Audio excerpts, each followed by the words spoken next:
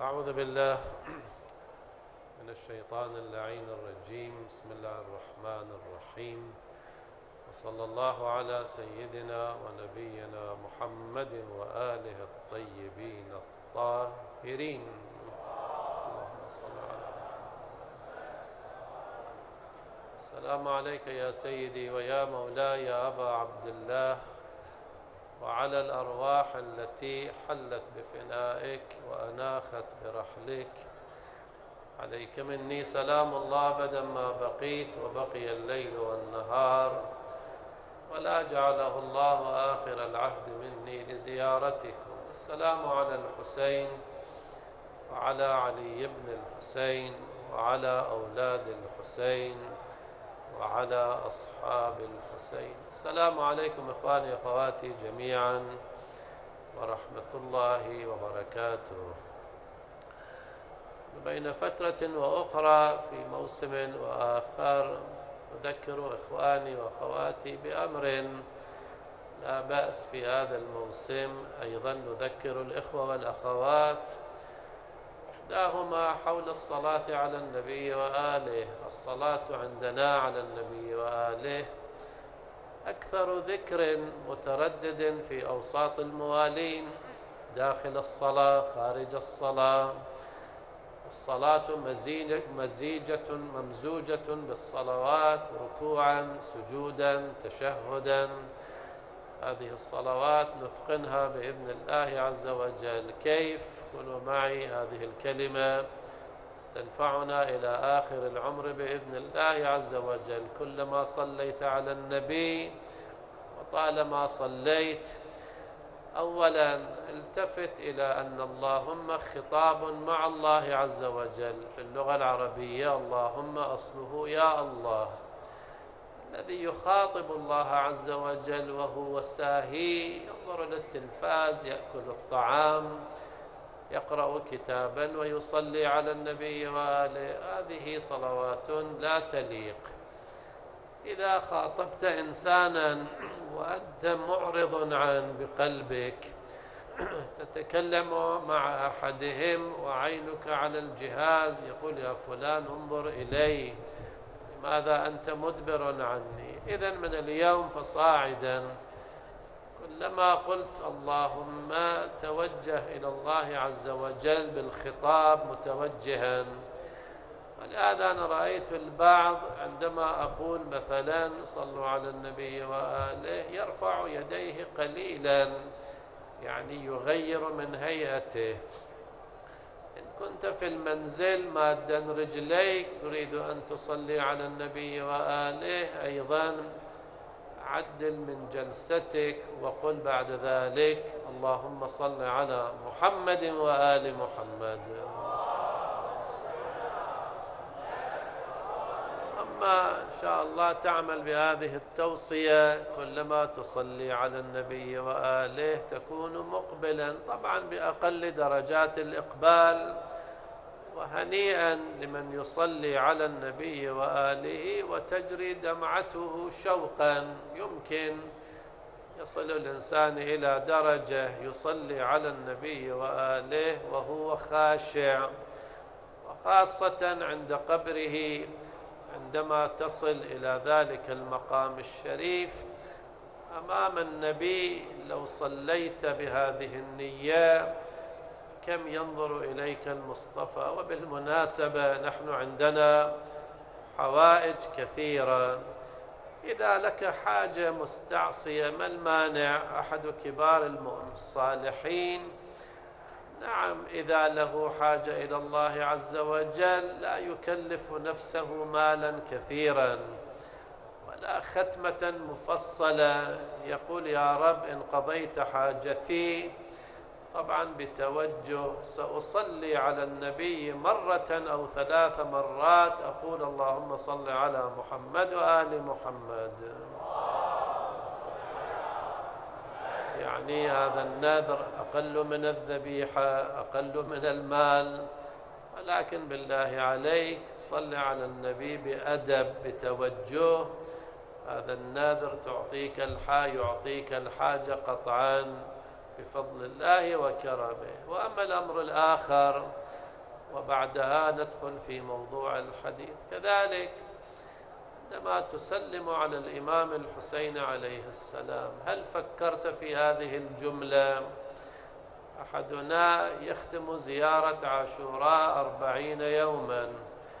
بالمناسبة الموالون لهم علاقة وطيدة بزيارة عاشوراء. أيام عشرة محرم أيام الأربعين البعض في الشهرين. في محرم وصفار يلتزم بزيارة عاشوراء وبعض المراجع الكبار سمعت أنه ما ترك زيارة عاشوراء في كل يوم. بمئة لعن وبمئة صلوات سلام على سعة نعم دائرة علميته. ذكر لمن ذلك المرجع أستاذ المراجع ولكن يأخذ وقتا من يومه وليلته لهذه الزيارة. ولهذا راجعوا بعض الكتب المؤلفة ابحث عن شروح زيارة عاشوراء. هناك مؤلفات كثيرة. اقرأ شرحا مختصرا. ما معنى السلام عليك أبدا ما بقيت؟ وبقي الليل والنهار ما المعنى؟ هل فكرت في هذه العبارة؟ لو فكرت فيها وعلمت مضمونها طرت فرحا. يعني يا مولاي السلام عليك أبدا ما بقيت بقيت أنا وبقي الليل والنهار بعد موتي. ما دمت حيا بقيت وبعد موتي الليل والنهار يبقى كناية عن الأبدية. وتعلم ما معنى هذه الجملة كن معي من الآن فصاعدا تتوجه. يعني يا مولاي أنا أسلم عليك الآن مرة واحدة في زيارة عاشوراء. ولكن يا رب يا أبا عبد الله سجل لي زيارة في كل آن أنا كذا أفهم. ما المانع؟ ملك من الملائكة الملائكة بين يدي المولى. مثلا يكلف ملكا يسلم على الإمام في كل آن نيابة عنك أبدا ما بقيت. تسلم مرة واحدة ثم تنام في حال النوم ما المانع؟ هناك من يسلم على الإمام نيابة عنك. لا تستغرب. في شهر رمضان تتنفس أنفاسكم تسبيح.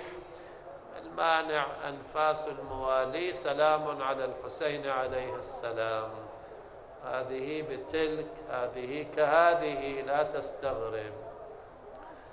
هنيئا لمن وصل إلى هذه الدرجة وهو نائم نفسه تسبيح حتى في غير شهر رمضان لأنه في ضيافة الله عز وجل. من صار لله وليا هو ضيف الله في كل آن نفسه تسبيح في كل آن نومه عبادة في كل شهر وهكذا كل أيامه شهر رمضان. كل لياليه ليالي القادر نكتفي بهذه المقدمة التي طالت قليلا لكنها نافعة بإذن الله. قبل أن ندخل في صلب حديثنا السابق صلوا على محمد وآل محمد.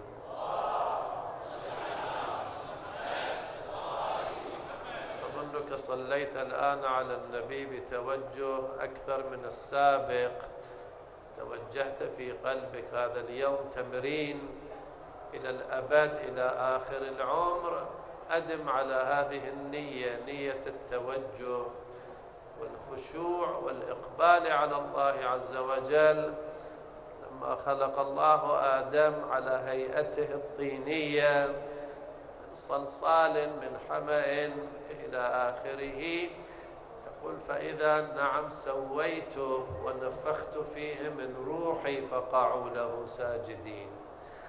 ما دام طينا لم يسجد لآدم متى سجد له؟ عندما نفخت نفخت فيه الروح. عباداتنا كهيئة آدم إن أقبلت في العبادة هذه العبادة تصبح حية. لا هي شبيهة بالعبادة شبيه الحج والصوم إلى آخره. إن شاء الله كلنا في هذا الطريق. أما حديثنا الذي بدأناه الأسرة الفاطمية لا أقول السعيدة نحن لا نتزوج لأن نكون سعداء. هذا شعار أهل الدنيا. نريد أن نتزوج لتصبح هذه الأسرة أسرة خالدة في الجنة. وتعلم أن المؤمن يوم القيامة رب العالمين يجمع له زوجته ذريته. رواية طريفة المؤمن في الجنة يرى كل أحد حوله من أهله وأقربائه. وهنا التفاتة مهمة جدا. أمر عليها سريعا. رب العالمين يعامل أهل الجنة بأحسن أعمالهم. ذهبت الحج عشرين مرة إحدى الحجاج كانت متميزة. رب العالمين يعطيك ثواب عشرين حجة متميزة بحسب تلك الحجة. وهكذا الصوم وهكذا العمرة وهكذا وهكذا أنا هكذا أفهم يجزيهم الله بأحسن أعمالهم. طبعا المفسرون اختلفوا ولكن أنا أختار هذا الوجه لأنه يليق بكرم الله عز وجل. ليس كلامي في هذا يوم القيامة. رب العالمين يجمع شملك بمن؟ بأبويك. بزوجتك وأولادك الأب منزلته في درجة دانية الأم كذلك أنت في درجة عالية. يعني رب العالمين كيف يجمع؟ ينزلك إلى درجة أبيك أو يرفع من درجة أبيك إلى منزلتك. الثاني هو الصحيح. هذا هو الكرم. يقال يا فلان يا أبو فلان ابنك من المراجع صار من بعدك من أولياء الله من المجاهدين من الشهداء درجته عالية. ارتفع إلى درجته. ألا يقال لقارئ القرآن اقرأ وارقى أي ارفع, ارفع من درجاتك. يا له من مزية. إذا الأبوان مقامهما أعلى أنت الولد. يرفعون مقامك إلى درجة أبيك وهكذا زوجتك. الشاهد العبارة الرواية الطريفة رب العالمين يجمعهم جميعا الأب والأحفاد حتى الآباء والأجداد. المؤمن في الجنة ينظر يمينا وشمالا يرى مكانا خاليا. يرى شخصا لم يحضر في الجنة يقال يا رب خويدمتي في دار الدنيا لنا خادمة تخدمنا طوال العمر. أريد أن تكون معي في الجنة أيضا. الرب الذي يجمع شملك بالخادمة لا يجمع شملك بأولادك بأحفادك خذها واغتنم. ليس كلامي في هذا الأسرة الصالحة هذه عاقبتها. ليس الدنيا دار مرح وسرور. خلقت الراحة في الجنة والناس يطلبونها في الدنيا. المهم الأسرة الفاطمية. وأنت تعلم أن الأسرة الفاطمية كم لاقت من المحن. الأسرة من؟ فاطمة. أبوها بعلها بنوها. أي هؤلاء سلم من البلاء. فاطمة وما أدراك ما جرى عليها. أمير المؤمنين صبرت وفي العين قذى وفي الحلق شجا المجتبى ينفض ما في جوفه دما عبيطا وأخيرا صاحب هذا المقام. لا يوم كيومك يا أبا عبد الله. هذه الأسرة الفاطمية. وبعده زين العابدين المغلول في الأغلال الجامعة الإمام الباقر والصادق المسمومين. الإمام الكاظم المسجون الإمام الرضا المنفي الإمام الجواد المقتول في شبابه العسكريان المقتولان سما وولدهم المغيب. كل واحد له ابتلاء ولكن يأتون يوم القيامة بأي حال الله أعلم. ألوية الحمد ألوية التكبير الملائكة تحف بهم. يا معشر الخلق غضوا أبصاركم لما تجوز أمتي فاطمة؟ أهل المحشر ليس كلهم محارم على الزهراء نعم ذريتها أصهارها ولكن باقي الخلق غضوا أبصاركم فاطمة ستمر. يا له من منظر مهيب هنيئا لذريتها. المهم أرجع وأقول من أراد أن تكون له ذرية فاطمية ليس بالضرورة أن يعيش الهناء. أعلم بعض المؤمنين نعم وعائلته على ما يرام متأسين بهذه الذرية. ولكن زوجته فيها ما فيها من البلاء هو مبتلى ذريته مبتلات ولكن تنظر إلى نور الإيمان في قلوبهم. أدخل بعض المنازل الأب مبتلى الأم مبتلات البيت يشع نورا أرملة أم الشهيد أخت الشهيد زوجة الشهيد الأيتام في المنزل يبكون لفراق والدهم ولكن ترى سيماء النور يلف وجوههم. وتدخل بيتا فيه طرب فيه مجون بيت فاخر أثاث مميز. ولكن البيت كأنه بيت الأشباح. أنا زرت بيوت البعض تريد أن تهرب من المنزل. بيت فاخر.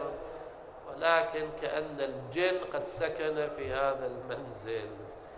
إذا الأسرة الفاطمية لا تعني البيت السعيد ماديا السعيد معنويا. تقوم الزوجة في جوف الليل أنا قلت هذا المعنى. تقوم الزوجة لقيام الليل تقوم تقول في قنوت الوتر ربنا هب لنا من أزواجنا وذرياتنا الزوج في غرفة أخرى يقول هب لنا. هذان الدعاءان إذا اجتمعا رب العالمين يبخل ألا يعطيه ذرية طيبة؟ نعم. إذا عليكم في سلوك هذا الطريق. وصلنا إلى أواخر الحديث. كان حديثنا في نعم في مناسبة زواج النورين قبل يومين. نختم الحديث في هذا الملف. هناك فقرة جميلة في زيجة فاطمة عليها السلام وأمير المؤمنين صلوات الله عليه. فقرة جميلة. إخواني كونوا معي جيدا. أهل البيت كرماء وأوفياء. أقل حركة أقل خدمة. تقوم بها لا تنسى. تسقي كأسا من الماء في مجلس الحسين. هذا بعين الزهراء صلوات الله عليها. ترتب النعال تدخل المجلس ترى النعال مرتبة أحدهم. نعم ذو وجاهة. يقول هذا العمل الذي يناسبني يتواضع له. أسماء بنت عميس أو عميس. النساء ذهبت ليلة نعم عرس فاطمة من يبقى في المنزل؟ رأى النبي أسماء باقية. قال لها أسماء ما لك؟ هذه الليلة ليلة علي وفاطمة ما لك واقفة؟ وإذا بأسماء تقول أنا الذي أحرس ابنتك يا رسول الله. يعني قلبي لا يطاوعني واقفة الآن خارج الدار في فناء المنزل في الطريق لا أدري. تقول أسماء أريد أن أكون حارسة لفاطمة وفاطمة لا تحتاج إلى ذلك. هذه الحركة المشكورة من أسماء ما هي نتيجتها؟ النبي دعا لها. فقال فإني أسأل إلهي أن يحرسك من بين يديك. ومن خلفك وعن يمينك وعن شمالك من الشيطان الرجيم. يعني بهذه النية الطيبة اللهم احرس هذه الأم هذه هذه المرأة المؤمنة. طبعا البعض يقول المراد بهذا الدعاء فاطمة صلوات الله عليها ولكن ذو وجهين.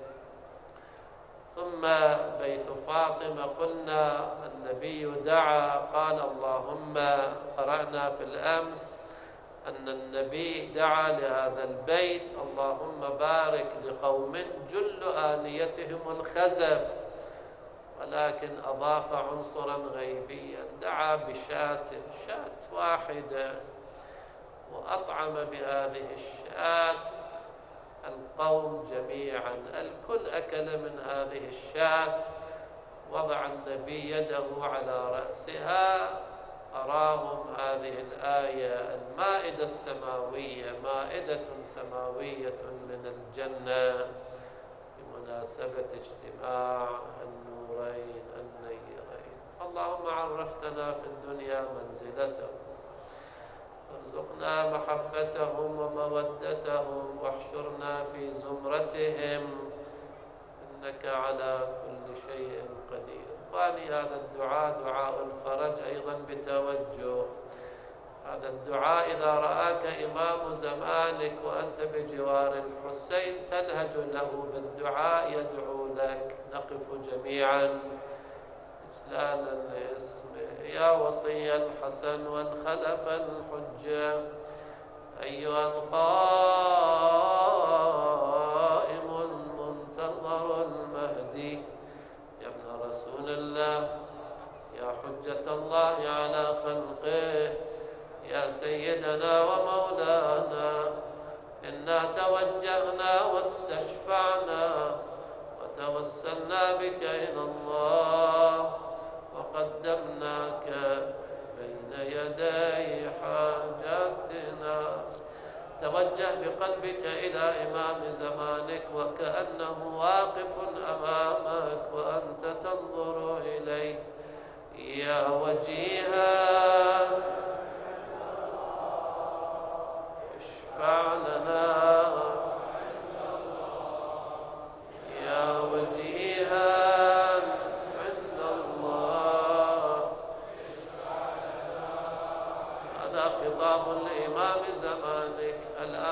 الآن خاطب رب العالمين. ارفع يديك إلى السماء. اللهم كن لوليك حجة ابن الحسن صلواتك عليه وعلى